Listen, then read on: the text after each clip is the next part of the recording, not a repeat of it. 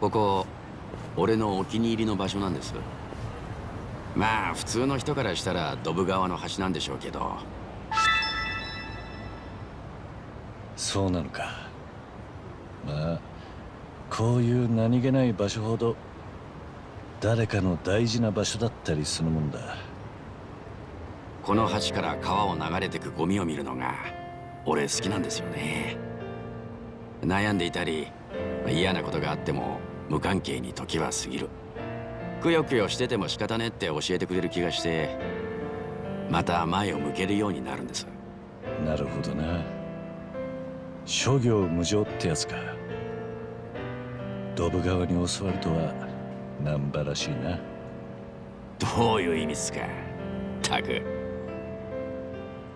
ハワイやらいろいろ行きましたけどここが好きなんですよ一番と初めて会ったのもこの近くでしたし。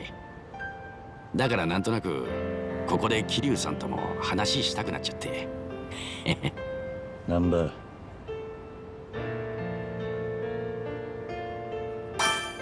今度はいつか俺の好きな場所を案内させてくれ。桐生さんの好きな場所ですか？そりゃ興味ありますね。どこだってお供しますよ。言ったな。どこに連れて行かれても文句言うんじゃねえぞ。どんなとこに連れてく気ですか？でもまあ楽しみにしてますよ。そうだ。せっかくですしここで写真でも撮りませんか？お近づき記念ってことで。なんとも今更な記念だな。でもいいぜ。撮るか。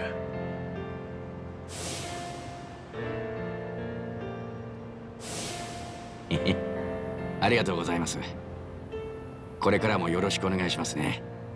桐生さん。おう難波もな。頼りにしてるぜ。